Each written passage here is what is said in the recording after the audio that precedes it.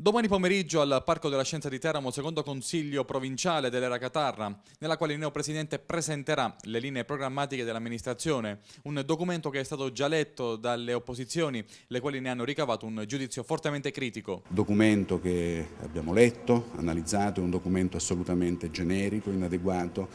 che non contiene impegni precisi, soprattutto impegni eh, sufficientemente chiari per la prima fase del mandato amministrativo. Un documento che non è emendabile, così i quattro capigruppo di minoranza, D'Agostino, Nori, Di Febo e Sacco, hanno firmato un ordine del giorno da portare al voto nella seduta di domani, già sottoposto all'attenzione del Presidente del Consiglio e col quale si richiede l'impegno della provincia in 10 punti per un orizzonte temporale di circa 6 mesi. Tra questi completare il percorso per definire il piano straordinario di messa in sicurezza del territorio alla luce del sisma e delle alluvioni dello scorso mese di aprile. La richiesta alla Regione di ripristinare i fondi per l'attuazione dei PIT distolti per finanziare il cratere aquilano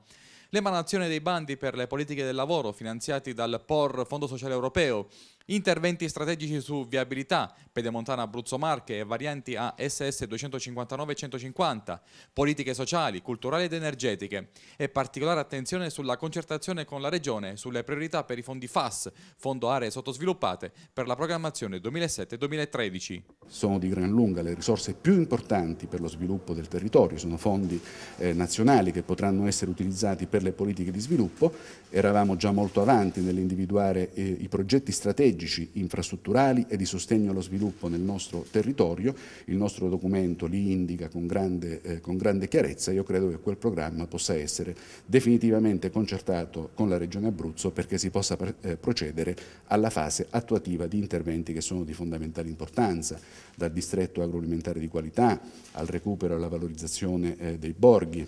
alle opere infrastrutturali che sono appunto incluse nel programma FAS.